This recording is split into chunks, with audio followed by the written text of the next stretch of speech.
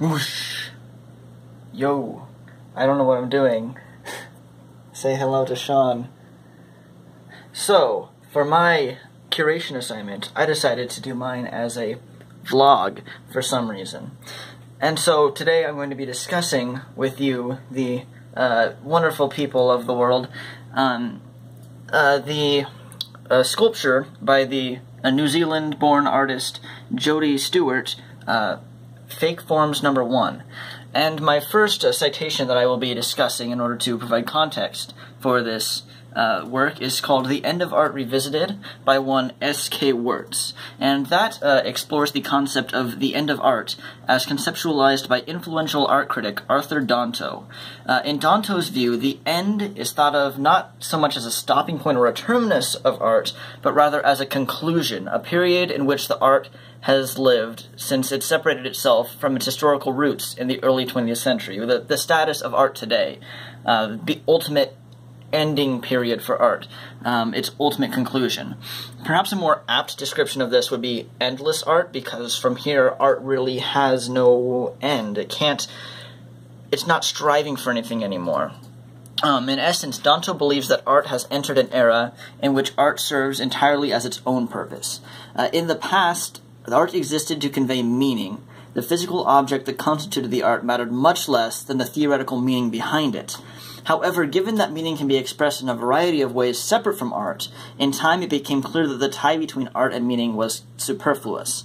This has left us in a state where meaning is no longer the most important element of art. Rather, the physical object, the physical artwork itself, uh, has overtaken meaning as the ultimate uh, goal of art. Um, in fact, many artists have tried to strip their art of as much meaning as they possibly can. You know, you can only get, get rid of so much. We are human. We are always going to uh, inject meaning into things whether we intend to or not, but some artists have made a point to try to avoid doing that. And this understanding of the modern view of the purpose of art is a fantastic framework for the work of Jodi Stuart. Uh, her sculptures feel very devoid of any particular meaning or purpose, uh, to the point that they almost feel like these natural constructs that have always existed and are completely beyond um, human concepts like meaning and purpose in the first place.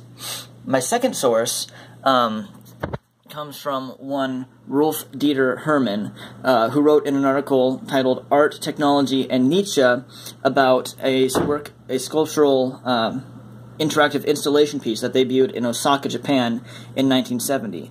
Now, one question that I find myself asking myself frequently as an artist is, what is the future of art? You know, in an era of endless art, uh, where anything can be considered art, where do you progress? Where, where, what's the next logical step for art?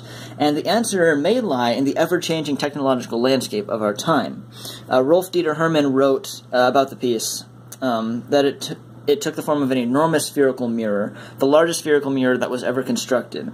Uh, and when the viewer would walk into the, the mirror, uh, there were all these complex lasers, and those lasers would uh, activate radio signals that could only be picked up by a headset worn by the viewer. And as you walked around the room, uh, the way that you moved and interacted with the invisible lasers would cause the radio transmitters in the floor to emit different signals for your headset to pick up. So the way that you experience the room is completely independent uh, from anyone else, especially because it's a mirror. You're seeing yourself in every direction.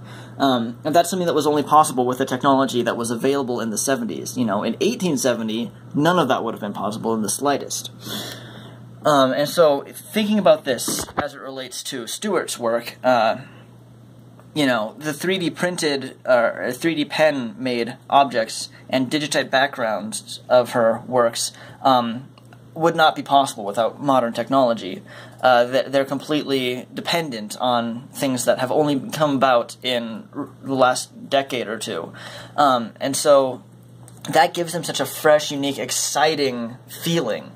And that sort of uh, feeling can be evoked as we move forward, as artists continue to tap into new and newer forms of technology.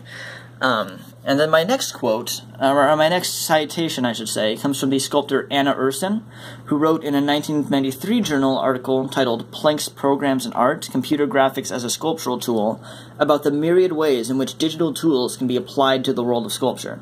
Um, of most importance to the work of jo- Jodi Stuart is the section on digital and physical multimedia artworks. Uh, Ursyn writes, I wanted to show the horse as a heroic symbol of the human struggle for survival, the horse as a link between natural surroundings and human nature. Rhythmic drawings done on a computer show a link between nature and human influence.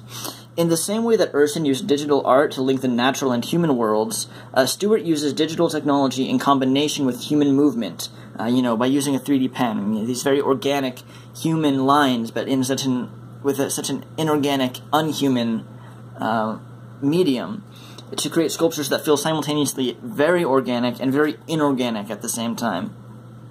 Now, my fourth uh, citation is a video uh, that explains um, a gallery put on by Jodi Stuart at the University of Northern Colorado. She speaks in the video. Um, she is providing insight into her own work using her own words. Uh, and so, what she says about technology and art is you don't have to use technology in the way it was meant to be used all, all the time. It can be creative. Um, so Stuart tries using technological tools such as a 3D pen and digital backgrounds to evoke everyday digital experiences in a physical tactile space. You know, using these things that we don't really feel think that that odd, that in many ways are just sort of normalized for us, and then using them in ways that are very not normal in an artistic way, um, in order to sort of make them more tactile and relatable and the resulting figures feel almost biological and organic. You know, many of her pieces, including uh, Fake Forms Number One, have this very sort of almost playful feeling to them. Um, you know, they, they, look they look like if they were blown up a hundred times, they would just be these giant playgrounds you would love to crawl around inside of.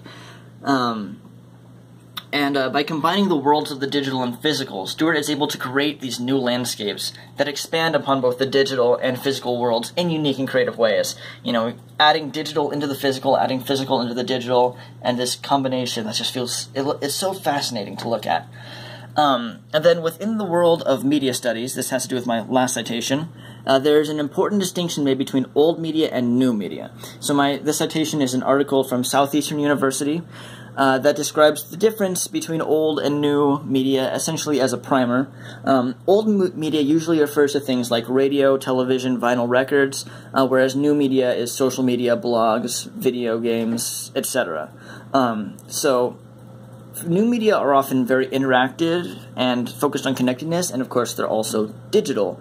Uh, whereas old media is much more analog, and there's a much clearer disconnect between the creator and the person uh, interacting with the media.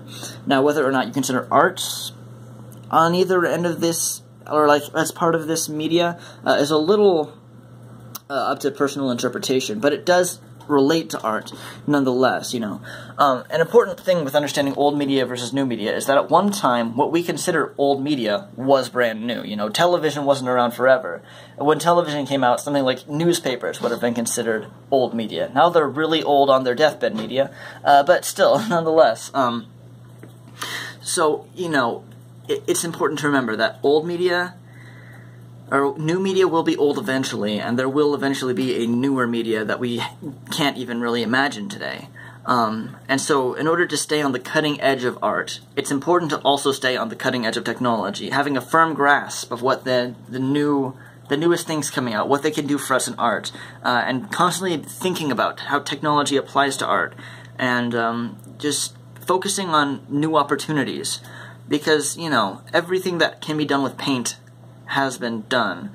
Um, that's not to disparage anyone from trying to paint, uh, but rather, if you're going to paint, think about how you can apply new information of our modern world that didn't exist 100 years ago into your painting in order to create something fresh and new. The same thing goes with anything, really, any media, any artistic medium.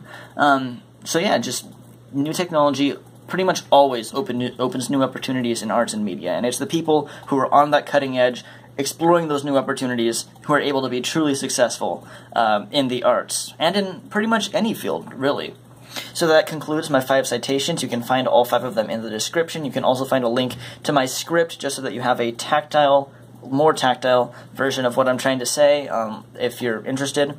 And that'll be it. So smash that like button or I'll smash your face.